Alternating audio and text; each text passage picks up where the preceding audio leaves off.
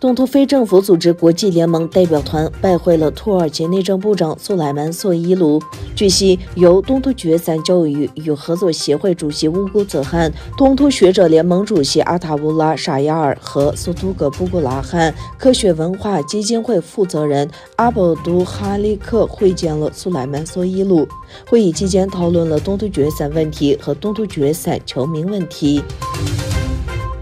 世界维吾尔代表大会主席奥马尔·卡纳特于四月十五日会见了美国驻马来西亚大使麦克法斯先生和使馆工作人员，向他们介绍了马来西亚非政府组织为结束中国对维吾尔人的种族灭绝而举行的活动。卡纳特还与马来西亚外交部顾问兼伊斯兰合作组织独立人权委员会专员拿杜·艾赫迈德·扎姆·阿布拉赫曼就将维吾尔种族灭绝和穆斯林世界。问题交换了意见。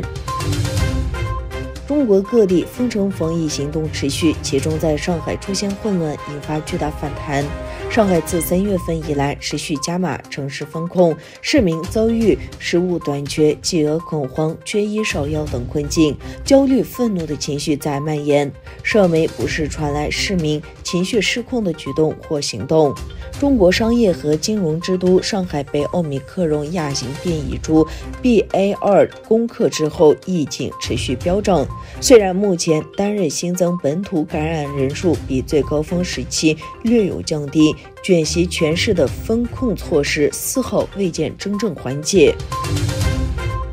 俄罗斯外交部星期六说，禁止英国首相约翰逊、外交大臣特拉斯和国防大臣华莱士等十多名英国政府官员和政治人士入境。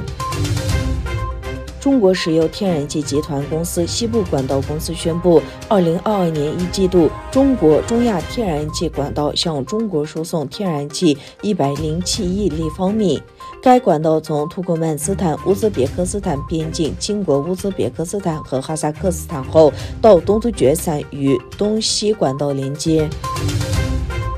俄罗斯总统弗拉基米尔·普京和沙特阿拉伯王储穆罕默德·本·萨勒曼讨论了石油市场的发展和乌克兰的局势。据报道，普京和穆罕默德·本·萨勒曼进行了电话交谈，双方还讨论乌克兰和也门的事态发展。周五，一艘从内吉亚到马耳他的75万吨商船在突尼斯加贝斯海岸沉没。包括四名土耳其人在内的七名船员获救。